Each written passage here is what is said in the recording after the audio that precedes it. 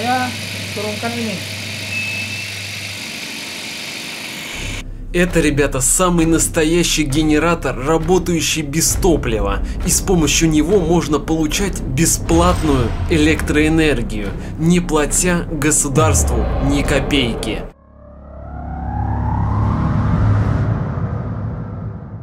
Всем привет, друзья! С вами канал Рафаэль Unreal. Сегодня мы посмотрим на генератор свободной энергии, или БТГ генератор.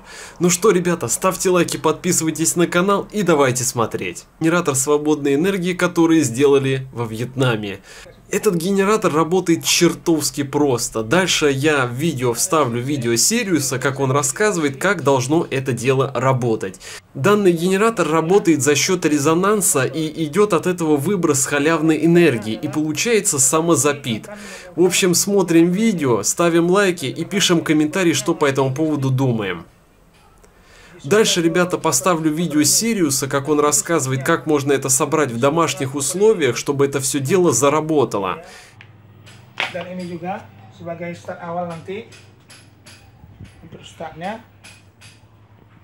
nah supaya bisa saya demonstrasikan saya akan susun dulu alat-alat ini semua saya akan susun di atas meja ini nanti saya akan angkat dulu meja ini akan bikin kemari. Sini.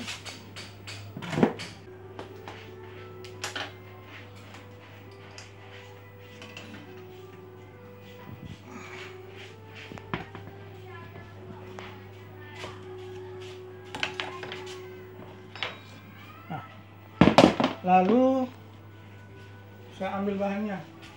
Untuk startnya nanti saya menggunakan inverter ini untuk start lalu ini untuk lalu aki untuk start mesin itu lalu ini dia stop kontaknya nah sebelumnya saya akan padamkan dulu listrik PLN Nah, lihat TV saya lagi menyala, saya akan padamkan dulu. Nah, udah, lihat. Saya padamkan. Nah, TV-nya telah padam. Rumah saya telah gelap. Lalu saya angkat ini. Kemari.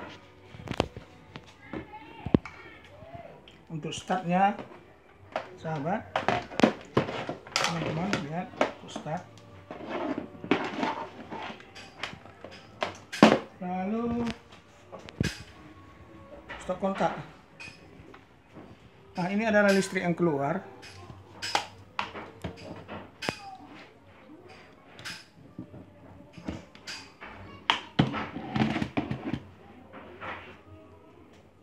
Saya tes dulu.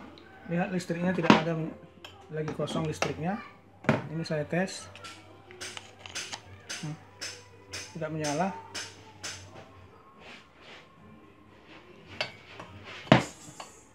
Lalu saya nyalakan inverternya.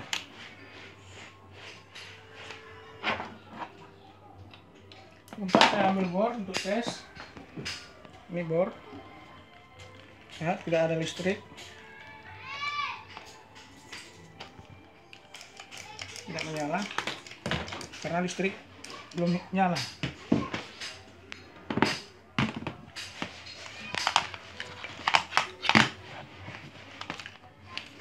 lalu saya nyalakan dulu pakai inverter.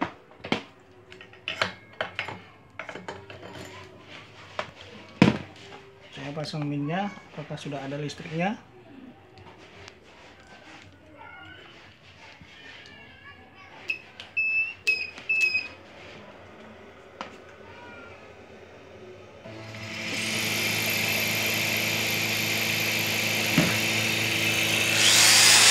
nyala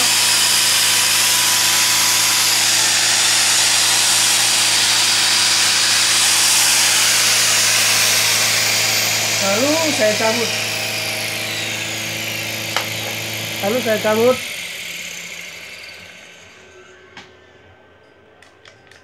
Nah listriknya tidak ada. So lalu saya akan bikin upper unity. Sebentar saya akan bikin over unity. Saya cabut dulu bornya. Nah begini saya akan oper ini. Ini ngoper ini sangat sulit teman-teman dengan harus cepat.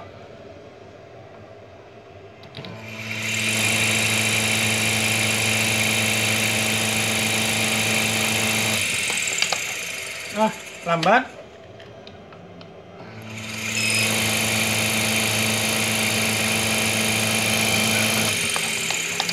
Nah menyala lalu ini sudah menyala sendiri dia. Ya menyala sendiri.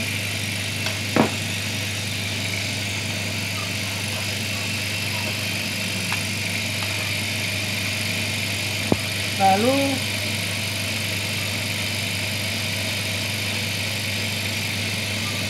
saya turunkan ini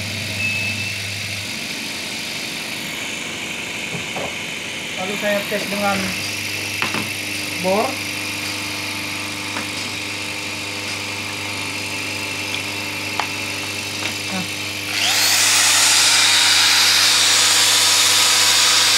inilah yang disebut over unity. Menyala sendiri. Suaranya halus. Halus sekali suaranya tidak mengeluarkan asap. Lalu saya akan tes dengan Сейчас вы увидите, ребята, кусочек видео, где Сириус Сотис Техника показывает, как это работает в программе. То есть, а, если работает вот здесь видео, да, то работать должно и в программе. То есть, когда мы делаем симуляцию, то есть симуляцию энергоцепи, да, электроцепи какой-то, если вы делаете что-то неправильно, то оно и в программе тоже не будет, соответственно, работать. В общем, смотрим видео. Здравствуйте, ребята! Сейчас мы с вами симулируем ту схему, которую показывал человек хороший, из канала «Хорошая идея». Я его имени не знаю, поэтому я буду говорить так, как есть. Вот вам обычная схема, которую он э, повторил. Значит, он подключил к сети 220 вольт. Это одна фаза идет через трансформатор. Ток у нас бегает туда и обратно. За счет этого формируется синусоида. Вот этот провод у нас является нулевым. Это, это 0 э, точка заземления для трансформатора подстанции. Откуда у нас эти два провода идут. То здесь у нас одна фаза.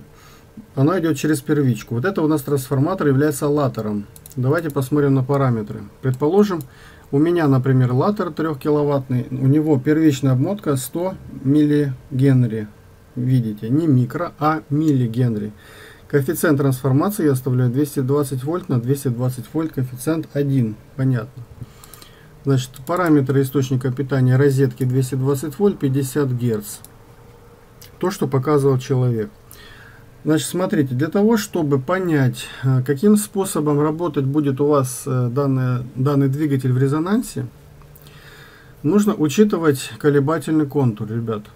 Значит, то, что человек вам показал, это возможность поменять конденсатор, но невозможность поменять индуктивность. Значит, из того видеоролика, когда мне его прислали по скайпу, я вам объясню. Я не буду говорить кто, куда, я просто говорю, что это было. Какая разница кто. Вот, смотрите. Э, у нас на том двигателе неизвестна была информация о индуктивности. То есть я сейчас могу сидеть, например, и гадать, какая должна быть индуктивность я должен буду посмотреть на э, этот трансформатор, увидеть там тонкие провода и намотанные в виде одной обмотки на этом двигателе, в виде как трансформатора, да. Ну и могу примерно себе предположить, что э, здесь у меня будет один Генри. Предположим, и следовательно у меня здесь должен быть 11 э, микрофарад. Мы также видели, что человек показал только 10 микрофарад он показал только 6 или там 4 микрофарада. То есть мы это видим. То есть у нас не полная информация. Но все равно вы один фиг увидите предрезонансное состояние. То есть это 50 Гц. Резонанс на нем поймать еще проще, чем на высоких частотах, на килогерцовых. Это понятно тоже. В принципе, многие как бы задаются вопросом, а на каких частотах. Ребят, да на любых частотах вы видели, как у нас идет изменение. У нас было 220 на входе, Э, ток у нас чуть вырос, При этом хочу сказать, что в этой схеме током управлять не получается здесь. Почему? Потому что ну, на том видеоролике человек этого не показывал. Он не знает, что такое управлять током. Если бы он чуть-чуть отрегулировал ток, у него бы потребление было бы меньше, напряжение все равно бы подрастало, и все равно бы он вышел в плюс с нулевым потреблением практически. То есть, ну, мы сейчас это затрагивать не будем, я как бы не об этом. Я вам просто объясняю, вот как это может выглядеть. У нас нагрузка здесь работает 2 киловатта. По естественным причинам, э, почему мы не сможем увидеть на том двигателе 2 киловатта? Ну, по той причине, что провода тонкие. Если там начнется реактивка гулять, то эти провода сгорят. Тем более мы видели, что даже при той мощности, ну, где-то примерно 500 ватт было, да, там где-то, у него уже там э, все могло звенеть, гудеть и нагреваться. То есть это вот как лампочка сейчас бы горела на, на 400 с чем-то ватт у него, да, примерно там, ну 500 это где-то сделаем, вот. То есть у нас процесс также будет работать. Также мы видим э, напряжение на конденсаторе, оно 700 с чем-то вольт. То есть, что я хочу сказать, конденсаторы те, конечно, будут показывать высокое напряжение, но если отсюда нагрузку убрать, ребята, здесь напряжение будет еще больше. То есть, вы когда делаете контур, ребята, не забывайте, что вы разгоняете напряжение с током, и конденсаторы повылетают у вас. То есть всегда загружайте систему. Без, без нагрузки это нельзя запускать в принципе. Ну вот, в общем, это вы должны были понимать. Значит, смотрите, здесь у нас также 1,2 э, киловатта потребления, видим. Ну, это понятно, мы можем отрегулировать сейчас, вот просто отрегулировать. Но не двигателем мы отрегулируем, а емкостью и получим примерные параметры, которые нам надо получить для того, чтобы убрать потребление. Значит, мы уменьшаем емкость, и у нас э, нагрузка, наоборот, слабеет. Значит, увеличиваем емкость. И мы видим, что у нас э, потребление не уходит. Ребята, это все поправимо. Я, например, не знаю, какая индуктивность на катушке. Ну, вот, к примеру. Ну, давайте мы сейчас отрегулируем.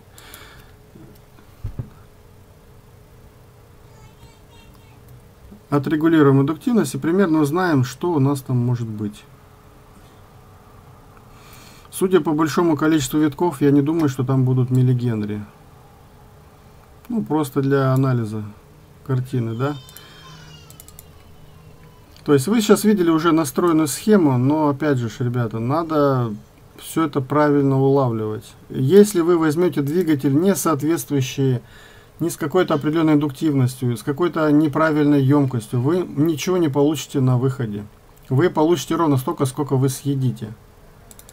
Еще от чего это еще зависит, ребята, вот когда вы будете это собирать. То есть вы думаете, будете, что, ой, у нас тут ничего нельзя настроить. Ребята, ну вообще-то можно настроить. Вы не забывайте, ребят, что когда вы подняли напряжение, еще в предыдущих видеороликах про резонанс, схемы Романова и тому подобное, я вам объяснял, что это надо надо видеть правильно. То есть, если вы подняли напряжение, вы, естественно, можете поглощать мощность с источника питания. Каким образом можно урезать э, напряжение, только нагружав? Только нагрузив, вы, вот, вот смотрите, внимание, 800 ватт, вы валите мощность. Но напряжение все равно будет у нас на конденсаторе киловольт 300 с чем-то. То есть это хорошо. Я вам почему включил изначально э, готовую симуляцию, чтобы вы видели, вот, сейчас я сделаю кило, 900, ну, киловатт сделаем сейчас вот один. То есть, каким образом это делается? То есть, вы думаете, что нельзя управлять? Ребята, вспоминайте видеоролики. Я сейчас уже сделал 1 киловатт. Я просто с легонца изменил вот здесь параметр. И у меня уже 800 ватт, потому что я нагрузил нагрузкой. Вот сейчас я буду еще нагружать и смотрите вот сюда вот. Вот смотрите, нагружаю, у меня там уже киловатт 0,7 и потребление обваливается, видите? Напряжение на конденсаторе у меня с запасом. Это говорит о том, что я могу опустить напряжение, получить охеренные токи. То есть, о чем речь идет? Надо двигатель загрузить для того, чтобы он максимум вам выдал, ничего не потребляя. Запомните.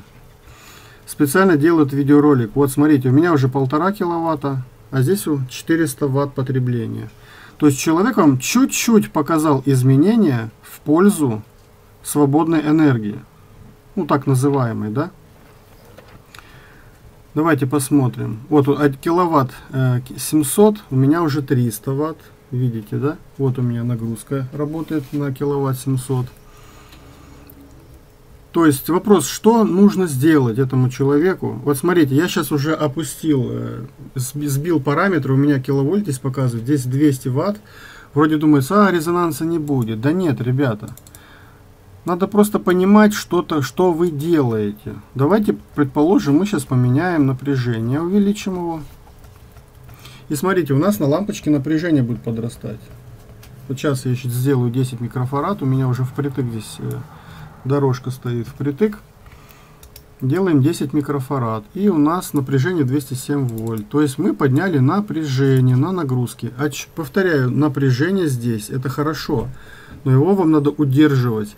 Напряжение по резонансу у нас идет именно на нагрузке. Здесь будет очень тяжело э, в этот момент настроить. Вам придется резонанс сделать именно на самой катушке. Здесь мы, э, здесь мы видим на конденсаторе. Вот сейчас вам покажу. Вот лампочка у нас показывает 207 вольт. Конденсатор показывает 3 с чем-то киловольт. Но не волнуйтесь, трансформатор урежет это напряжение, но все равно токи там будут. 300 э, ватт потребления, видите. Значит, давайте мы еще... Что делает сейчас конденсатор? Обратите внимание. Сейчас я немножко еще увеличу на 11 микрофарад. 11 микрофарад. Смотрите, видите, я сделал 11 микрофарад, и у нас уже все вышло из нормального нам нужного режима. Смотрите. Вот сейчас я опять уменьшаю, уменьшаю, и у нас только так потребление возвращается в нужное нам состояние. То есть это будет очень тонкий, тонкая грань настройки, ребят, сразу говорю. То есть не надо фантазировать. А, если вы выйдете из нужного режима, у вас сразу идет потребление. Вы увидите странные аномалии. Вы просто, я вам сейчас это показываю для того, чтобы вы видели, от чего будут зависеть эти аномалии. Почему вам придется покупать конденсаторы от 0,5 микрофарад, там 1 микрофарад и так далее. Может быть даже не один, может быть 2 микрофарада. Лучше взять всю линейку, ну пусть это выйдет в приличную сумму, но зато вы будете говорить, что вы понимаете, о чем речь идет. И по дурачка тут косить не получается, как правило. Ну, вот и мы видим 2 э, киловатта. Хочу сказать, в чем э, прикол. Эта схема на самом деле... Вот я сейчас убавлю с 2 киловатт, поменьше сделаю. Вот я убавляю. Смотрите, убавляю, убавляю, смотрите. 314 ватт. Еще раз убавляю. Сколько ватт? 349. То есть уменьшение нагрузки плохо сыграется именно на потреблении. Потребление будет возрастать. То есть есть определенная середина, которая управляется вот этой вот частью, катушкой и конденсатором. Вот, понятно? То есть, если у вас что-то не получилось с одним, с одним двигателем, ребята, вы должны давать себе отчет вот именно вот в этом месте, что происходит. Что происходит в этом месте? Нужен вольтметр на конденсаторе, вольтметр на катушке. Но это если вы будете двигатель пытаться сделать. Если у нас э, напряжение здесь, предположим, двигателя должно быть 220 вольт. Если у нас э, какие-то другие, я могу, например, сейчас поменять э, вот здесь индуктивность, да, и приподнять напряжение. Вот, например, до 1000. Сейчас сделаю 1000. И напряжение у нас приподнимается на 1 Генри. Видите, у человека была довольно сильная намотанная катушка. Там может быть даже больше, чем Генри. То есть я сейчас буду напряжение поднимать с помощью этой индуктивности. Вот, я сейчас чуть перегнул с индуктивностью, у меня напряжение начало валить. Сейчас я буду уменьшать ее, и у меня напряжение чуть-чуть припод, приподрастет. Дальше. И конденсатор обязательно. Смотрим.